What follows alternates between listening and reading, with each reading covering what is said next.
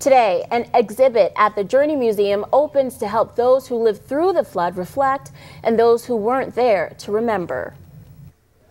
The exhibit, Mega Floods, a 1972 Awakening, is now on display at the Journey Museum in Rapid City. For some, the exhibit's photographs and videos show them just how devastating the flood was. For others, the exhibit brings back nearly 40 years of memories. It had rained a lot that whole week, and uh, you just thought maybe something might happen.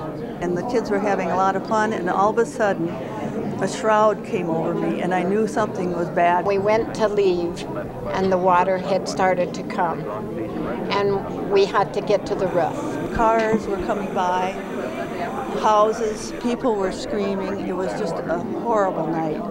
But we all came out of it without anyone losing anyone. Faye Sorensen and Joanne Keck say it's emotional to relive the experience again, but it was important for them to see the exhibit that honors the 238 who won't have the opportunity. You just want to see and, and remember and remember the people that you lost. I think it's to have a memory of them. You never forget something like this.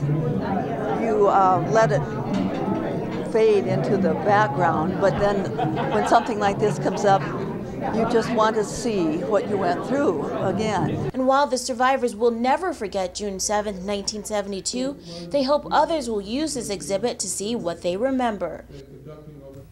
The exhibit will be on display in the Adelstein Gallery at the Journey Museum until August 10th. Admission is free.